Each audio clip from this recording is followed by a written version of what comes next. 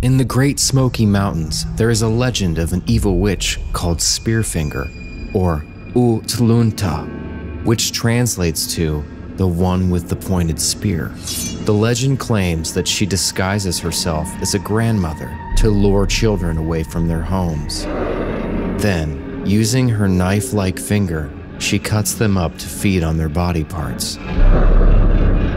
Spearfinger, being made of stone, sounded like thunder when she walked and crushed rocks into the ground when she stepped on them. Her voice echoed down the mountains to the Cherokee villages and scared the birds of the forest away, which the people saw as a warning sign. While many people believe this story to be a myth, Cherokee hunters claim to have spotted her on numerous occasions.